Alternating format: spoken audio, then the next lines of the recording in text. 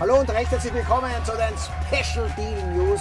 Wir sind äh, diesmal in Heiligenblut im Hotel Lerchenhof.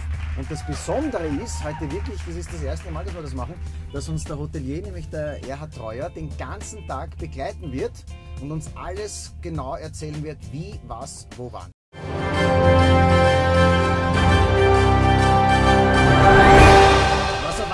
Uns heute alles? Ja, uns erwartet heute das Skigebiet Heiligenblut am Großglockner. Ja? Wir haben jetzt unten gestartet in Heiligenblut, direkt im Zentrum, auf 1300 Meter und werden heute noch auf fast 3000 Meter raufkommen, genau auf 2962 im Fleißtal. Es erwarten auch heute wie immer der Aktivitätencheck. 2600 Meter. 2600 Meter, genau. Der Blick hinter die Kulissen, Nein, ob du trainierst. 100 Meter Läufe ja. Nicht, nicht. die Urlaubstipps mit dem Aha-Effekt. Ja, also auch äh, das Nachtleben boomt hier in Heiligenblut. Auch das wurde von meiner Familie hier 1492 eingeführt. Und, zum Schluss unser Gewinnspiel 2x2.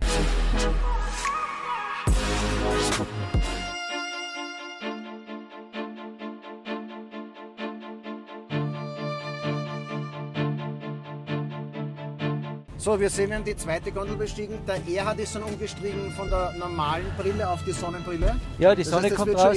Es wird jetzt ernst. Ja, Jetzt wir gehen kommen wir von jetzt welchem Niveau aufs nächste? von 1800 auf 2,6. Bumm, das ist aber relativ viel auch. Ja, ne? ja, ja. ja. Hoffentlich ich das auch als Wiener. haben wir ein bisschen längere Gondelfahrt. Ja. Hoffentlich zerreißt man nicht den Schädel, Erhard. Glaube ich nicht. Ist das auch für Wiener geeignet? Ist auch für Wiener sehr geeignet. Ja. Leute mit Problemen, die quasi diese Höhe irgendein Problem haben, da- dass sie das so Oder hoch... in dem Bereich eigentlich, eigentlich nicht. Noch nicht. Nein.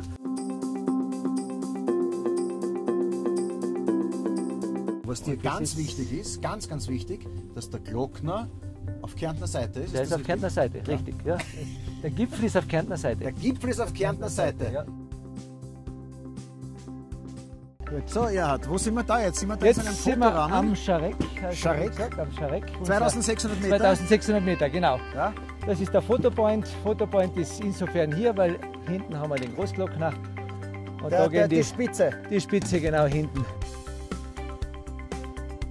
Das ist der Martin vom Tourismusverband Heiligenblut, der Chef, ist das richtig? Ist gut, ja genau. Das ist gut. Den haben wir erwischt auf der Piste. Der Er hat Genau. ihn gleich erkannt. Was ist das Besondere für dich dann, Glockner? Nee, ich schaue mir die Pisten ja fast regelmäßig jeden Tag einmal an, gell? Ja. weil es einfach so schön ist. Es ist jedes Mal wieder ein Erlebnis, wenn man diese steilen Hänge von Heiligenblut runterfährt. Urlaub jeden Tag, auch wenn man hier zu Hause ist und da wohnt. Gewisser der Hütte, wann wir der Schnaps, wir, Erhard. Nein, ist natürlich Spaß, ist alles in Ordnung. Aber Erhard, wir haben wieder wen gefunden auf der Ja. Piste, wer ist das? Es ist der Frank, ein guter alter Stammgast unseres Hauses Okay, und glaube ich Heiligenblut-Fan, Sommer wie Winter. seit 20 Jahren. Du bist aus Deutschland? Ja. Von wo? Aus Sachsen-Anhalt. Bist du nicht zum Frühstück zu zweit? Warst du nicht zu zweit? Ja, Und wo ist deine Frau? die macht gerade Pause. Auf der Spatzel ein. Ah, da waren wir doch gerade auf der ja, Spatzl. ja, jetzt haben wir es übersehen. Da haben wir es aber nicht Haben gesehen. übersehen. Du, ich glaube, die ist woanders. Die ist woanders. Ja. Die hat einmal ins Hotel fahren.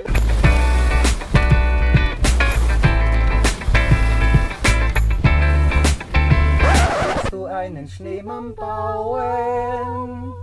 So, ich bin jetzt dann mit der Katha, mit der Skifahrerin, und wir haben jetzt gerade so kurz geplänkelt und haben gesagt, sie ist eine ganz andere Generation als ich, wen sie kennt und wen ich nicht kenne.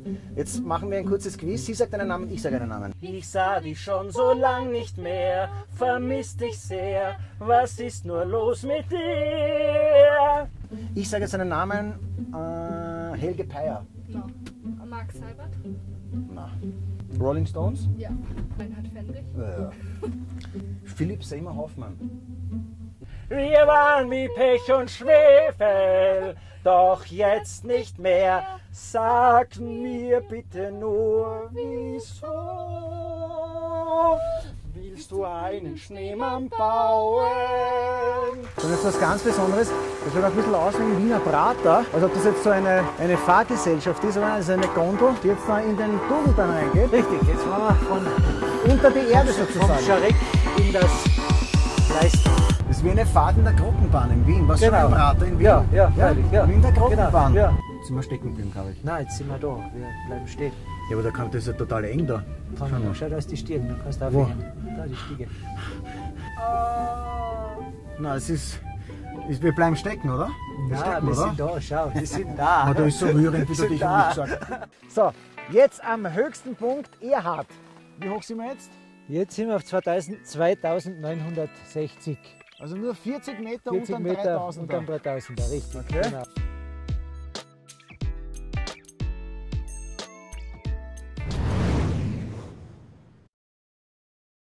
Ja, jetzt sind wir gleich bei einem großen Highlight, was du gesagt hast, direkt in den Stollen gebaut, wo die Gondeln parken. Ja, wir haben da ähm, diese, diese Bahn Ausbach und Scharek, da haben wir 150 Gondeln. Ja. Und die müssen wir die Nacht natürlich äh, reinbringen, vom Seil runter. Und da haben wir da natürlich diesen Bahnhof, der was 110 Meter lang ist.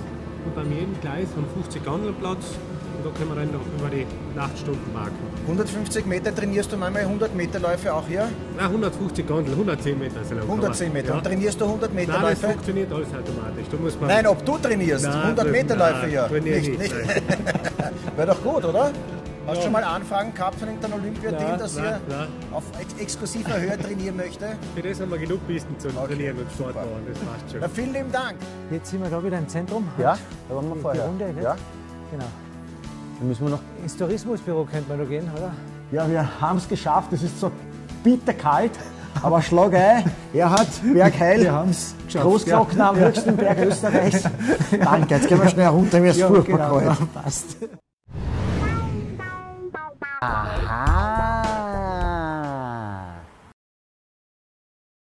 So, jetzt haben wir ein Urlaubserlebnis mit Aha-Effekt. Es hat mit heiligem Blut zu tun, aber es hat etwas mit mir zu tun. Die Glocke läutet, das ist ein Zeichen, denn mein äh, Bekannter, also mein Verwandter, hat einmal recherchiert den Ahnenbaum und da hat er herausgefunden, dass der Britius Schmiedel in heiligem Blut zu Hause war. Und das war der erste, den wir so ein bisschen herausgefunden haben. Das war 1400 irgendwas. Und Britius Schmiedel klingt wirklich sehr nach heiligem Blut, Nach weil Heiligem Blut, ja, weil der Brixius war derjenige, das war ein dänischer Feldherr, der das heilige Blut nach heiligem Blut gebracht hat. Ja. Also nicht jetzt der Schmiedel, weil ich bin ja, bin ja. Wiener, eh klar. Der Kärntner, wie ich gelernt habe jetzt, Ja. auch ein bisschen ein Kärntner Ja, ja, Wiener, genau. also Ja. Österreicher, Ja, ja. also mit Schweden, Norwegen, oder? Dänemark. Dänemark. Na haben wir es alle durch, Schweden, Norwegen, Dänemark. Ja, also auch äh, das Nachtleben boomt hier in Heiligenblut. Auch das wurde von meiner Familie hier 1492 eingeführt, nämlich die Hüttengaudi. Das wissen die wenigsten. Auch eine Information mit Aha-Effekt. So, also ein wunderbarer Tag geht zu Ende. Es ist jetzt schon dunkel. Ja, es wird schon dunkel. Jetzt gehen wir noch in den Wellnessbereich. Ja, Da bin ich auch schon sehr gespannt. Gut. Und morgen, wenn wir fahren, auf jeden Fall vielen lieben Dank, Ja. Gerhard, für alles. gerne. Auf Danke den Lerchenhof, wirklich eine ganz tolle. Location. Danke. Jetzt haben wir uns in die Sauna, ja, und dann. Da sehen geht's wir mich uns wieder wieder. weiter. Ja, auf gut, jeden Fall. Danke. Gut. Super. Gehen wir rauf. So.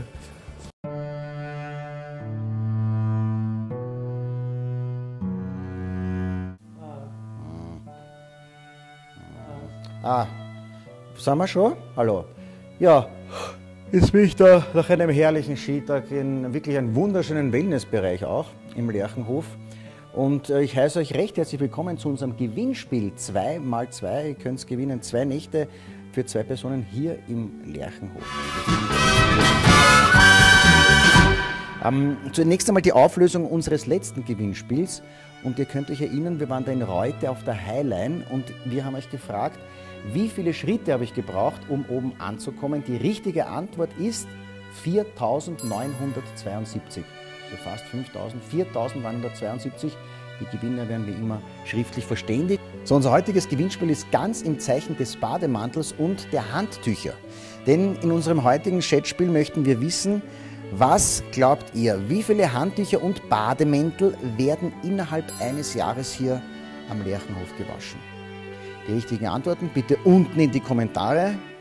Vergesst nicht, uns zu abonnieren. Ich gehe jetzt nochmal in die Sauna und ruhe mich aus. Ich wünsche euch alles Liebe. Wir sehen uns bei der nächsten Special Deal News für Tech.